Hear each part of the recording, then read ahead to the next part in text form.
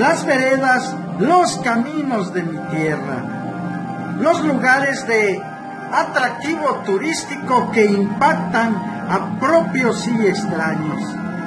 Hablemos el día de hoy de lo que es la Capilla Sixtina Mexicana, una construcción del siglo XVI en donde la vida y la muerte habitan el mismo espacio.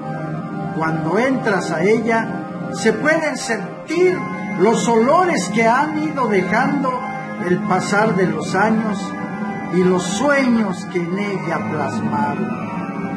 El templo principal de Tupátaro es una remota capilla de corazón barroco que se planta frente a las prisas de nuestra época para no dejarnos olvidar la memoria de lo que estamos hechos.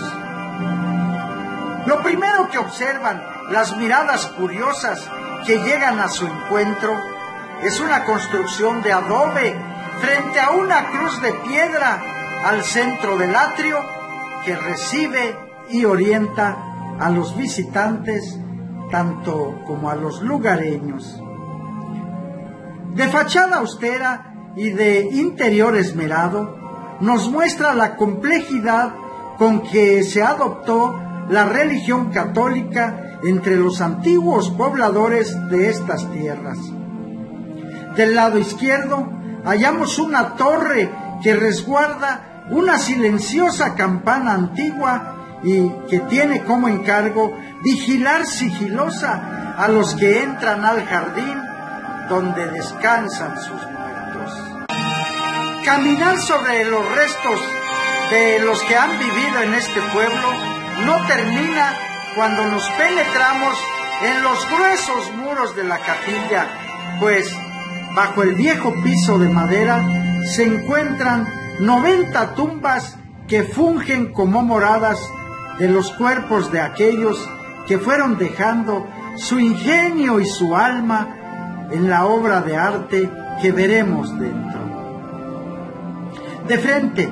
Se encuentra un hermoso retablo cubierto en oro que se comenzó en el año de 1725 y tardó 36 años en darle la bienvenida a los fieles que acudían a Santiago Apóstol, santo del templo, para pedirle cualquier milagro que los ayudase a entender esta existencia tan divina como humana.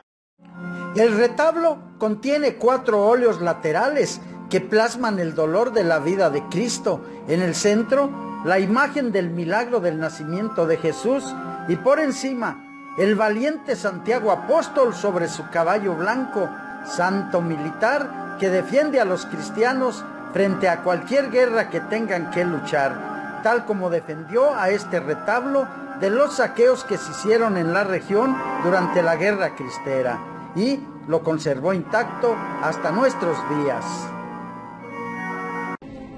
En el altar se descubre también un frontal donde se celebran las misas y que data del año de 1765. Una pieza única hecha de caña de maíz cubierta con lámina de plata.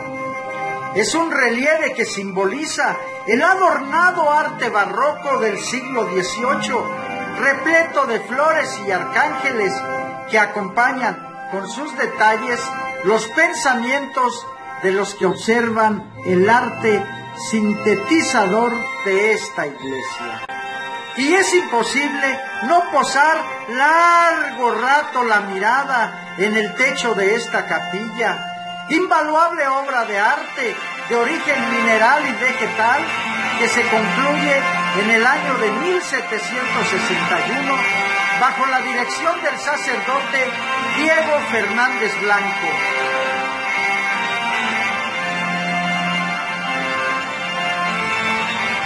Algunos de sus visitantes escucharon antes hablar o conocieron la obra de magnitud similar en un aislado poblado de Michoacán.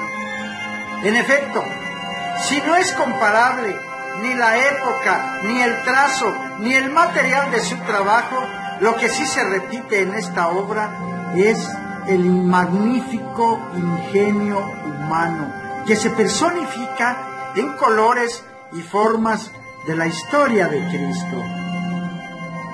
Desde los costados del techo nos observan los 33 arcángeles que, según la religión católica, recorren la tierra para resguardar nuestra alma del pecado y son los ojos de Dios en este mundo. Cada uno de los 33 arcángeles lleva los símbolos de la pasión de Cristo para combatir el mal o el aburrimiento existente entre los mortales. Y en cada detalle nos muestran la esencia misma de aquellas almas valientes que realizaron este gran mural superior. Los pintores que dieron vida a esta magnífica obra tenían en su trato la memoria prehispánica, tanto como europea, pues habían pasado un par de siglos de la llegada de los españoles a Mesoamérica. Y ninguna de esas dos memorias fue descartada en las imágenes de la obra. Colores y símbolos de los antiguos códices dan forma a la historia de los que llegaron a conquistar estas tierras.